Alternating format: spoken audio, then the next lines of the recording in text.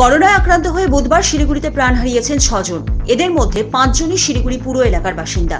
প্রতিদিনই শিলিগুড়িতে বাড়ছে করোনায় মৃত্যুর সংখ্যা। পাল্লা দিয়ে শিলিগুড়িতে বাড়ছে আক্রান্তের সংখ্যাও।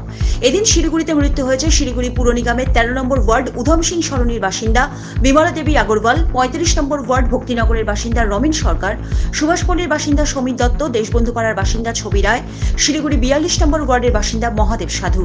এছাড়াও উত্তর দিনাজপুর জেলার ইসলামপুরের বাসিন্দা মমতা দত্ত বুধবার মারা গিয়েছেন শিলিগুড়িতে। বুধবার শিলিগুড়িতে নতুন করে করোনায় আক্রান্ত হয়েছেন মোট বিয়াল্লিশ জন। এর মধ্যে তিনজন উত্তরবঙ্গ রাষ্ট্রীয় পরিবহন সংস্থার কর্মী।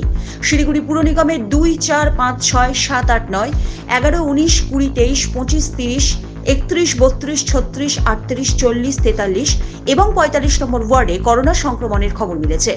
এদিন করোনায় সুস্থ হয়ে বাড়ি ফিরেছেন শিলিগুড়ি পুর নিগম এলাকার মোট কুড়ি জন। এদের মধ্যে রয়েছেন শিলিগুড়ি পুর প্রশাসক মণ্ডলীর অন্যতম সদস্য শঙ্কর ঘোষ ও তার মা পুতুল ঘোষ। শিলিগুড়ি মহকুমা এলাকাতেও ব্যাপক সংক্রমণের খবর মিলেছে। অন্যান্য দিনের মতো নকশালবাড়ি ব্লকে করোনায় নতুন করে আক্রান্ত হয়েছেন তেত্রিশ জন। একই সঙ্গে এদিন খড়িবাড়ি ব্লকে আক্রান্ত হয়েছেন ছজন মাটিগাড়া ব্লকে আক্রান্ত হয়েছেন এগারো জন বাসিন্দা। এদিনও ব্যাংডুবি সেনা ছাউনিতে নতুন করে করোনায় আক্রান্তের খবর মিলেছে। Bureau report, Uttarbanga.